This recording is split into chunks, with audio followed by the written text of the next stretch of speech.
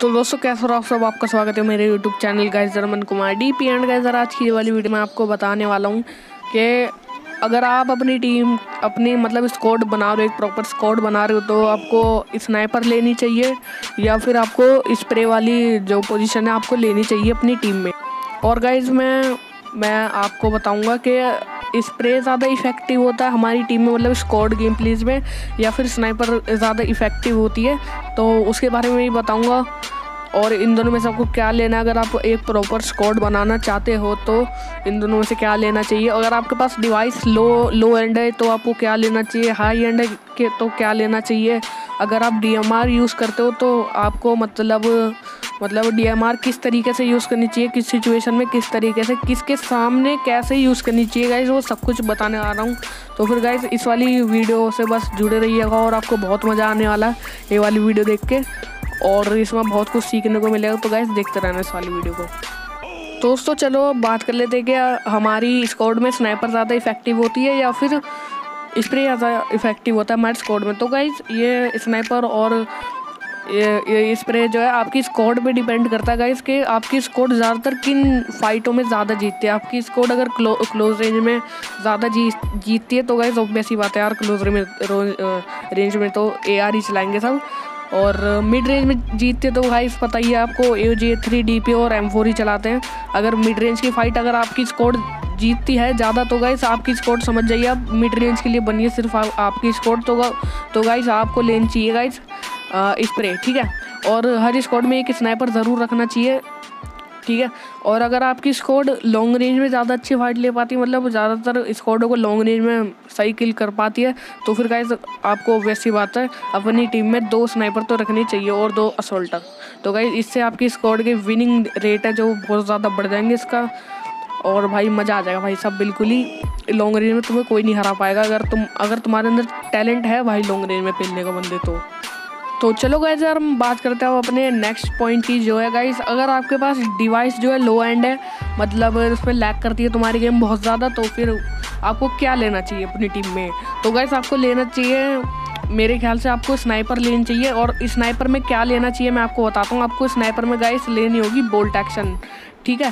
क्योंकि गाइज़ जब हम स्नाइप करते हैं तो उसमें लैग का ज़्यादा सीन रहता नहीं है बोल्ट एक्शन में, क्योंकि हमें बस एक बुलेट छोड़नी होती है, ना उसमें रिकॉयल कंट्रोल करना होता है, बस हेड पर एम लेके फटाफट उसमें जो है, हमें बुलेट मारनी होती है बंदे के हेड पे तो उसमें ज़्यादा लैग का सीन इतना रहता है नहीं, बस लैग में थोड़ा बहुत एम करने में प्रॉब्लम होती है। अगर आप स्प्रे चूज़ करोगे भाई, जबकि आपके, आपको पता है भाई, आपके पास इतना अच्छा डिवाइस है नहीं तो आप ऑब्वियसली बात है मरोगे। देखो भाई स्प्रे कर रहे हो डिवाइस तुम्हारा हीट हो रहा है लैग हो रहा है तो ऑब्वियसली बात है, तुम्हारा स्प्रे बिगड़ेगा गोली ऐसे रुक रुक के चलेंगी, और तुम्हें पता ही होगा भाई क्या क्या प्रॉब्लम होती है। तो भाई, अगर सामने के पास, सामने वाले के पास अच्छा डिवाइस होगा तो भाई ऑब्वियसली बात है, भाई तुम्हें मार देगा।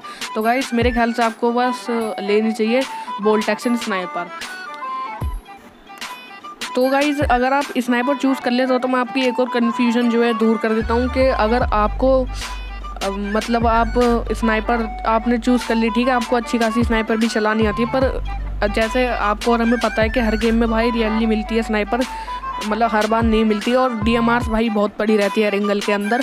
तो गाइस आप डी भी यूज़ कर सकते हो, बस आपको क्या चीज़ है? बस आपको डी थोड़े हल्के हल्के चलानी मतलब वो एक एक बुलेट छोड़ना मतलब भाई चाइनीज़ प्रो प्लेयर तो हम है नहीं, ठीक है? लो एंड डिवाइस में जो कि हम मतलब जल्दी जल्दी टैप करें। तो गाइस अगर आप DMR चला रहे हो लो एंड डिवाइस में अपनी स्कोड के, भाई, तुम स्नाइपर हो तो भाई ऑब्वियसली बात है DMR भी तुम्हें चलानी पड़ेगी। अगर आप DMR चला रहे हो तो गाइस आपको आराम आराम से हेड हेड ले लेके बंदे को फील करना पड़ेगा डीएमआर से, ना कि आप भाई मतलब चाइनीज़ प्रो की वीडियो देख के और तुम जल्दी जल्दी जल्दी टैप करने लग गए तो उसमें कुछ फ़ायदा नहीं है, आपकी बस एमओ वेस्ट होने वाली है, और कुछ फ़ायदा नहीं है, इससे बढ़िया भाई तुम प्रॉपर एम लो, दो हेड मारो, बंदा ख़त्म है। तो गाइस जैसे कि मैंने आपको बता दिया कि आपको डीएमआर कैसे यूज़ करनी है, और अगर सामने वाला बंदा, मैं आपको अब मैं आपको ये बताऊँगा कि आपको मतलब किसके सामने कैसे यूज़ करनी है, जैसे कि मैंने शुरुआत में बोल दिया था। तो गाइस अगर सामने वाले बंदे के पास है भाई सेवन पॉइंट सिक्स टू की गन या फिर उस, वो किसी फाइव पॉइंट फाइव सिक्स की गन से जो है आपके ऊपर स्प्रे दे रहा तो गाइस आपको एक ऐसे तरीके से यूज़ करनी है भाई डी जैसे कि आपने एक बुलेट हीट करी, भले अपने पैर पे करी हो वेस्ट पे करी हो हेड पे करी हो, बस आपको एक बुलेट हीट करना है वापस से कवर में आना है and position change and one bullet on head मतलब वापस आपको एक बुलेट वापस हेड हेड पर मार के फटाफट कवर में आना है और दूसरे एंगल से मारना है, क्योंकि उस बंदे के पास भाई हमें नहीं पता भाई क्या पता M four plus six X हो D P plus six X हो, वो बंदा हमें ख़त्म कर सकता है। तो और ये जो मैं टिप्स दे रहा हूँ भाई, ये लो एंड डिवाइस वालों के लिए, भाई हाई एंड डिवाइस वालों के लिए तो भाई कोई प्रॉब्लम नहीं, वो कैसे भी यूज़ करें, ठीक है? वो उनकी प्रैक्टिस के ऊपर है भाई। अगर आपके पास लो एंड डिवाइस है मेरी तरह तो फिर आपको कुछ ऐसी तरीके से यूज़ करना पड़ेगा सब कुछ। आपको थोड़ा सा कॉम्प्रोमाइज़ करना पड़ेगा, जैसे कि मैं बता रहा हूँ, आपको एक बुलेट मारते ही आपको हेड मतलब जो है कवर में आना, फिर पोजीशन चेंज करके एक और हेड मारना है ऐसे धीरे धीरे करके आप बंदा ख़त्म कर सकते हो। अगर आप ये सोचते हो कि भाई कोई बात नहीं लो एंड डिवाइस ही तो है तो गैस आप मर जाओगे, क्योंकि जब आप टैप टैप करोगे तो आपका डिवाइस जो है लैग होगा और बुलेट जो है कहीं उधर इधर उधर ही जाएगी, आपका एम बिगड़ेगा और बंदा तुम्हें ख़त्म कर सकता है। तो बस। तो गाइज़ जो अभी जो अभी तक हमने जो बात करी थी, वो थी गाइज़ लो एंड डिवाइस वालों के लिए। मतलब जिनके पास अच्छा डिवाइस नहीं है। तो गाइज़ अब बात कर लेते हैं भाई, उनके लिए जिनके पास भाई अच्छा डिवाइस है, उन्हें क्या लेना चाहिए? भाई, तुम चाहो तो भाई स्प्रे भी ले सकते हो, तुम चाहो तो भाई स्नाइ स्नाइपर भी ले सकते हो। भाई, वो तुम्हारी मर्ज़ी, पर लो एंड डिवाइस वालों को भाई कॉम्प्रोमाइज़ करना पड़ता है भाई, कुछ मतलब मन मार के कुछ ना कुछ करना पड़ता है। पर अगर आपके पास हाई एंड डिवाइस है तो गाइस मैं आपको बता दूँ, बस वही जो जो मैंने आपको पहले बताया था कि आपका जी, आपकी टीम भाई जिस चीज़ में ज़्यादा जीतती है, किस मतलब जिस रेंज में आपकी टीम जो है ज़्यादा फाइट जीतती है, आपको वो, उसी में मतलब ज़्यादा ध्यान देना होगा। जैसे कि आप मिड रेंज में जीतो भाई ओबियस ही बात है, तुम तुम असोल्टर बन जाओ स्प्रे करो भाई, खूब दबा के, ठीक है? तुम्हारा कुछ प्रॉब्लम है नहीं भाई, तुम्हारे पास हाई एंड डिवाइस है तो बाकी लो एंड डिवाइस वालों को भाई तुम्हें पता ही है। तो गाइज़ आप स्प्रे भी चूज़ कर सकते हो। दोस्तों आशा करता हूँ अगर आपको ये वाली वीडियो पसंद आएगी पसंद आए तो भाई लाइक कर देना चैनल पे ना हो तो भाई सब्सक्राइब कर देना। एंड गाइज़ अब मैं ऐसी वीडियोस लाता रहूँगा यार कितनी बार बोलूँ मैं।